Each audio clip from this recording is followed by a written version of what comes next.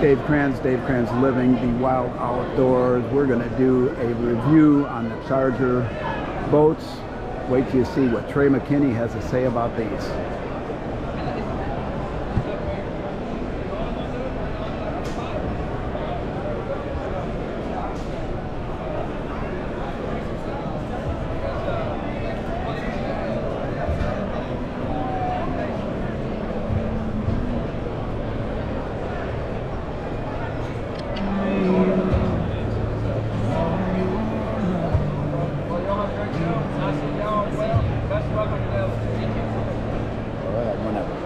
Trey McKinney here. I'm gonna do a little rundown on my 2023 boat, fishing all the nine of the Bass Opens. Uh, this is one thing I really love about this boat. You have a lot of storage, man. Um, right now I'm running a 12 Lithium Pro and a 36. So as you can see down in here as we're getting into it, there's so much room for this. And honestly, another thing on a tournament show, you gotta be locked and ready to be able to replace anything, any pumps uh, on your live wells. I said, and as you can do it, you can lift this up right here. You got all right to your pumps. You can replace them in a matter of just popping it in, popping it out, man. And I'm, like I said, a tournament circuit, a local tournament, a church tournament, anything you want to call it. I mean, everybody wants to keep their fish alive. That's the main thing. It's going to preserve the sport. It's us taking care of our fish so the next person can catch them, man. So we're going to move on from there. Uh, like I said, too, there's two breakers here for uh, all the lights, uh, motor, uh, trim, stuff like that. But if we go on to the live well, as you guys can see, we got deep live wells, um, we got build, and then we got the recirc and the alt, aerator here, and we got sprouts. Um, the main thing I like about it is it's pretty deep um, in rough water, anything else like that. You're really saving your fish, not getting them beaten.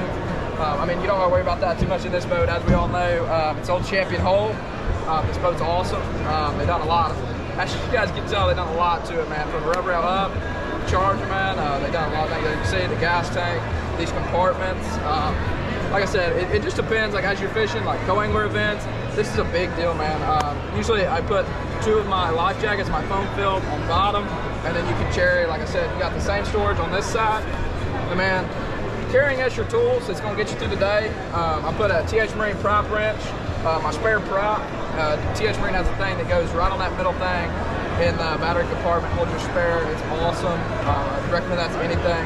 But main thing with that, you have for your co-angler and for you. Uh, everything you shall need, G-juice, everything in the boat. So we move on up, we got uh, have the nice seats as well, um, heated as we all like it. Um, like right here on a cold day is the best thing ever. So uh, all these right here, as you guys can see, are ran to a breaker. So if you have anything go wrong, pop it back in. It'll tell you which ones you guys need to change. Um, right now, I'm getting ready to put this in our RMP dual mount. I'm gonna love it. Perfect height to see over it. Um, not disadvantaged by any means. It's great. I haven't had any of the switches. Another thing a lot of people say, hand in hand um, on the power, okay? Right here we have a power switch. Okay, this is your key. Um, the power switch is there because it just depends on me. Once you get used to it i love it honestly because it's easy access you reach over. Sometimes all you do is gotta click it. Everything all the main power disengages. Click it back over everything is just how it was. So um, it's super easy super quick. Uh, no, no need to go back there. You can just climb out of it afterwards uh, we got both of our gauges good placement um, you got your TH Marine, trim up, jack plate, trim down, uh, super good there. And another thing I've done here is they put these on here for phone chargers, anything else like that. And actually this year I put in a modification that the Charger will let you do as well, is a, uh, they put a Milo stick right here. A lot of times I'd love to film uh, media, and show you guys a journey, and uh, so that's, that's the best play, best angle for me to get film on both back and front. So if we come from here, as of now, we all know it, uh, we like hot drinks, never got to worry about it, man. This thing, I've had two giant bags to ice, keeps it forever. And the main thing with a cooler, any boat, okay, once you get it, the first bag of ice, you're like, man, that melts it so quick. But once you get that area to surface temp to cold, once you put one bag of ice in it, it's gonna last forever, man. And that's the thing, when I go in there before a tournament day, something like that, I'll put a bag in there nice before, get it nice and cold. When I wake up that morning, it's ready to go. Might be a little bit left, it's got a drain at the bottom. It's perfect, man. That's why stay hydrated. Number one thing, you got health is first, so absolutely. Uh, rod boxes, like I said, a lot of storage. You got rod length on this side. There's no both sides of it. There's none shortened. Um, like I said, I have a 7-Eleven glass sink drawer crank and run. And I don't want that to be able to hit on front. So, and that's the main thing with this one. It runs all the way up, super clean. Nothing bad about it there. Um, holds 20 rods. And if you do tubes, what you can do is uh, front a rod sock. Uh, you put multiple rods in a tube. You like to be prepared for that. Um, you go around from there, go into this. This is my favorite part, okay? We got a lot of storage on top, okay? And the main thing is be creative, okay? Sometimes you can put a box storage here and you can stack, okay? All your tackle there. You got, I know I'm a plastic bag guy.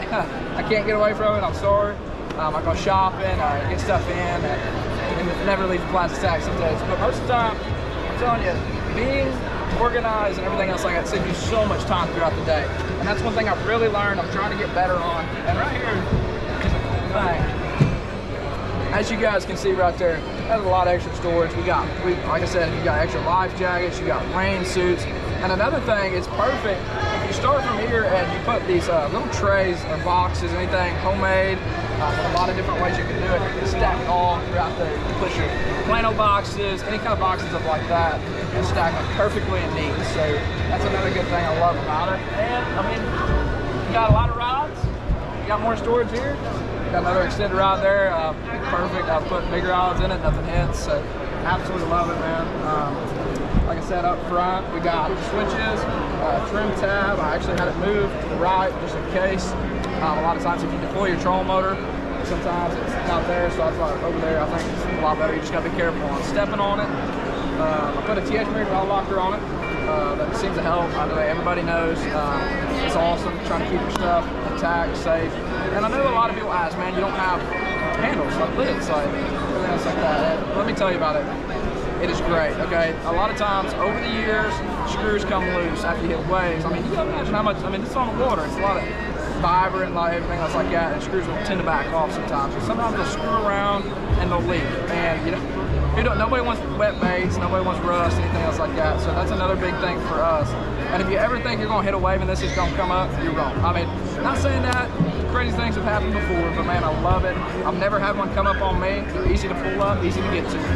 Um, like I said, I put the trolling motor mount up there. It's got perfect room uh, for your trolling motor of any kind. If you're running Power Pole, Minn Kota, Garmin, Ghost. Um, all of it works awesome. Um, like I said, it just depends on uh, weight, transmission, or whatever you call it, on uh, certain people, on how fast your boat runs. Um, it handles great. It's not one of them that you have to worry about once you get the top end if you're gonna have to drive it or not. Um, it's great. Put your mother in there and have her go full throttle, and she's gonna love it. So uh, it's a Cadillac, man. So that's all I gotta say. Trey McKinney out. So have a good day.